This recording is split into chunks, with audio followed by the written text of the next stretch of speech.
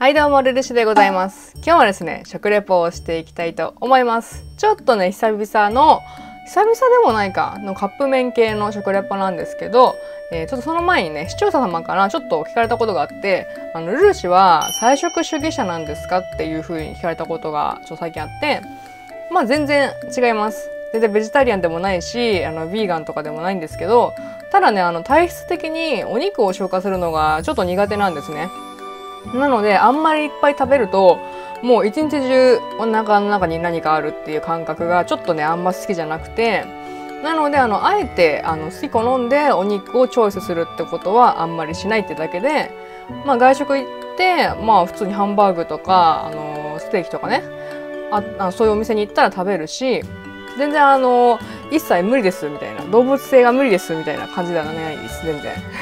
ただちょっと体に合ってないなと思うので、あの、あえてあんま食べないってだけで、全然菜食主義者ではないです。ただ野菜は好きですけどね。今日だってカップラーメンとかいうもの食べますしね。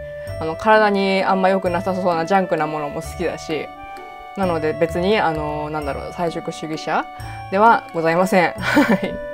はい、では早速なんですが、今日紹介する商品こちらでございます。はい、じゃじゃーんこちらです。はい、こちらね、私も一瞬で、え、目について、え、買ってしまいました。えー、こちらがイカスミブラックシーフードカップヌードルの新味でございます。もう真っ黒ですね。で、ここになんかイカちゃんがいたりとか、パッケージもめっちゃ可愛い。これさ、あのなんだろう、調べたら、別にね、あの、スプラトゥーンとコラボしてるとかじゃないみたいなんですけど、なんか、ぽいよね。なんかぽくない？このインクみたいな、この色合いとかさ。あれ？これなんかスプラトゥーンとコラボってんのかなと思ったらなんか違うみたいですね。なんか時期も今じゃん？今が旬なスプラトゥーンだから、なんかコラボってんのかなと思ったらちょっと違うみたいですね。まあでも意識はしてそうですよね。めっちゃイカいるし、意識はしてそう。うん。でですね、ここにイカスミのペーストがついてるんですね。多分これが、えっ、ー、と、入れることによって、えー、黒くしてくれるのかなと思います。じゃあね、早速開けていきます。ちなみにカロリーが、え、432キロカロリーなので、まあ別に許容範囲ですね。私あんま最近カロリーとか気にしなくなってきて。というよりね、あの、なんだろう。カロリーを気にしてると、私ご飯食べれなくなっちゃうんですよね。なんかもうカロリーに支配されてもうなんかカロリー低いものしか食べないみたいな。それ違うだろうと思って。そんなんだって楽しくないし美味しくないしそんなの。なんかね見た目は普通のシーフードヌードルみたい。やっぱりこのねイカスミちゃんこれを入れることによって真っ黒になるのかな？こんだけなのにすごい威力だな。じゃあねちょっとお湯を入れて3分待ってみたいと思いますはい、えー、3分待ってる間の小話タイムでございます。はい。えー、最近ね、えー、魚を食べてないなと思って、サバ缶をね、えー、食べたくて、部屋でね、開けたんですよ。いや、台所で開けろって話かと思うんですけど、なぜか私は部屋でサバ缶を開けたんですよ。そしたら、あの、あまりにも中身のね、あの、つゆあるじゃない？あの、使ってる、サバが使ってる。あれがね、すごい、あの、タプタプで、私はそれをね、わからず、パカーンって、パカーン、パカーンってやっちゃって、もう汁がね、色、なんか、このね、周辺に飛び散らかしちゃって、で、私がね、ずっと使ってて、何年使ってるかわかんないぐらいの、この、化粧ポーチ、ワニティポーチっていうのかなこのでかいやつ。これにぶっかかっちゃって、もうね、もうこれサバ缶。もうこれもサバになっちゃってるんですよね。なのでちょっと、これは買い替えのね、えー、いいチャンスかなと思ったので 新しいのを注文したんですけど、これ雑誌の付録かなんかでずっと使ってるんですけど、まだ何気にリエンダで、そう、サイズもちょうどよくてずっと使ってたんだけど、さすがにさ、あ、すんごいサバ。さすがにサバの匂いのする化粧ポーチってあかんなと思ったので、ちょっと買い替えましたっていうお話です。はい。はい、でね、3分待ったので、こちら、イカスミペースト入れるんですけども、ちょっとね、この状態じゃ見づらいと思うので、え別カメの映像をどうぞ。はい、ではね、3分経ったので開けます。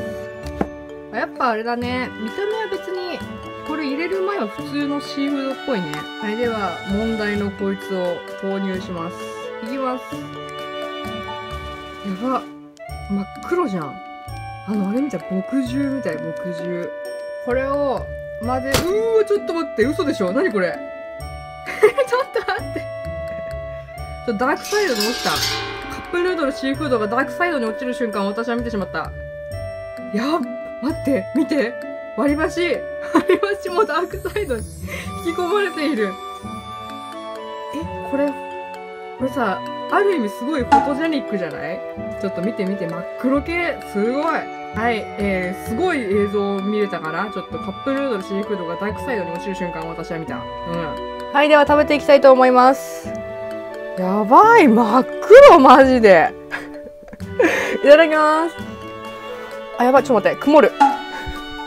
すごいさい。あの目で撮るとのび太くん状態なんですけどちょっと曇るので。いただきます。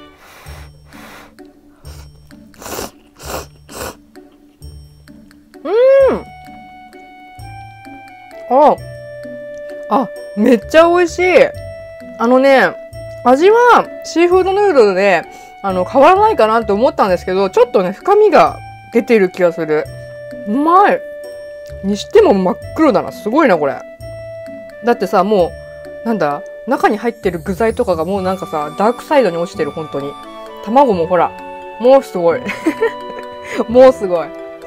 うん。なんか別に歯は黒くなってないと思う。ごめんあのドスッピンで気持ち悪いことしてごめんなさい。ちょっと。すいません。私もともとあのイカスミっていうものをちゃんと食べたことがないんですけどだからイカスミの味がこういう味っていうねあのあれがないんですよ記憶が。なんだけどもまああのシーフードヌードルにコクが加わっててすごく私はこれありだと思いますうんはい最後一口いただきます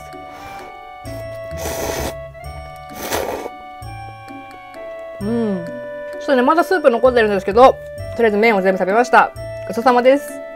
Today the Lulush Point ドゥルって100点でございます。イェイいやあのね、カップヌードルシーフードがダークサイドに落ちる瞬間を私は初めて見たので、っていうのは冗談でで、あの、普通に味めっちゃあの、美味しくて、シーフードヌードルが基本なんですけど、味はね。だけどちょっとそこに、あの、イカスミの効果だと思うんですけど、深みが加わってすごい私は美味しかったです。でなんか私が思ってるだけなのかな。なんかね油分もそんなに多くなくてすごいさっぱりコクがあるんだけどさっぱりしてて食べやすかったです。